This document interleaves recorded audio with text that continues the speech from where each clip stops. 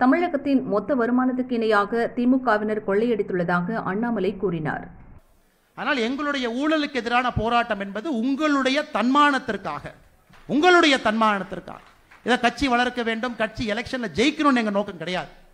அதனால் ஜூன் முதல் வாரம் இரண்டாம் வாரம் தொடங்கக்கூடிய இந்த எண் மண் எண் மக்கள் நடைபயணத்திற்கு நீங்கள் பங்கேற்க வேண்டும் என்பதற்காகத்தான் இன்னைக்கு அந்த செயலி எங்கே துவங்கி வைக்கிறோம். அந்த செயலி இங்கே இருக்குது எண் மண் எண் மக்கள் என்கின்ற வெப்சைட்டு. அதில் நீங்கள் ரெஜிஸ்டர் பண்ணணும். சாமானிய மனிதன் நீங்கள் எங்களோட நடக்கணும். தமிழ்நாட்டினுடைய மொத்த வருமானம் இரண்டு லட்சத்தி முப்பதாயிரம் கோடி இந்த ஆண்டு. இவங்களுடைய பினாமி சொத்துக்களே கிட்டத்தட்ட ரெண்டு லட்சம் கோடிய பினாமி சொத்து தாண்டுது. இந்த பதிமூணு பேர்த்தின் மீது நேரடியாக இருக்கக்கூடிய சொத்துக்களே ஒரு லட்சத்தி முப்பத்தோராயிரம் கோடி தாண்டுது. எந்த ஸ்கேல் ஆஃப் லூட் பாருங்க. இது வந்து குறிப்பாக முகல்ஸ் கூட இந்த அளவுக்கு லூட் பண்ணல. ஆங்கிலேயர்கள் இந்த அளவுக்கு லூட் பண்ணல. ராபர்ட் கிளைவ் இந்த அளவுக்கு லூட் பண்ணல. அவங்கெல்லாம் தாஜ்மஹாலே தனித்தனியாக பிரித்தெடுத்து இங்கிலாந்து கொண்டு போகணும்னு யோசிச்சார்.